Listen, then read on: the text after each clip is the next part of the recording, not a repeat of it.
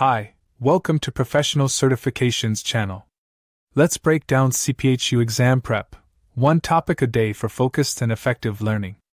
Today's topic is process mapping in healthcare. Process mapping in healthcare. Process mapping is an invaluable tool in healthcare for enhancing understanding, efficiency, and quality of care processes. Definition Process mapping is a technique used to create a visual representation of a process within an organization.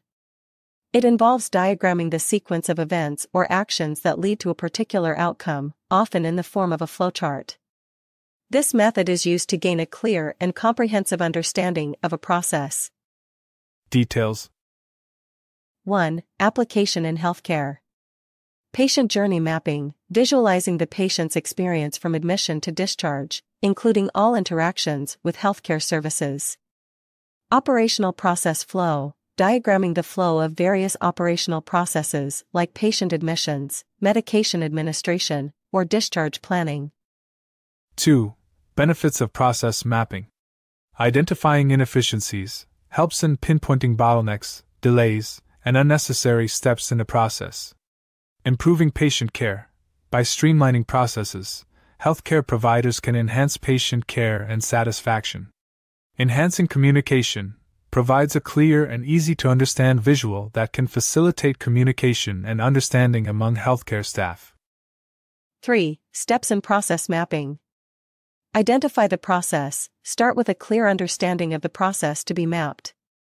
Gather information, collect detailed information about each step of the process.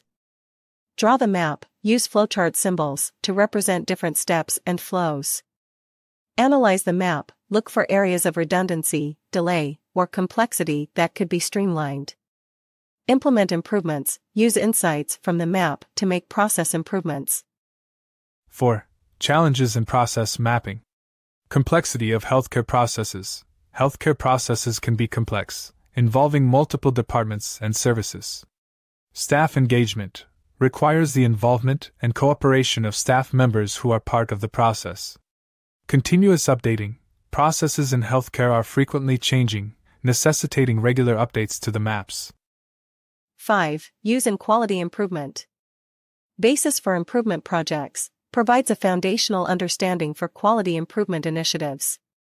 Training tool can be used as a training resource for new staff to understand how various processes work.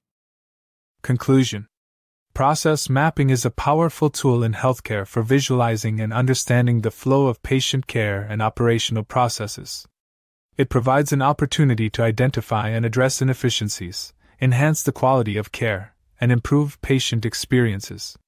Effective process mapping requires thorough data collection, staff involvement, and a commitment to using the insights gained to drive improvements in healthcare delivery. If you found this content informative, please like, share, and subscribe.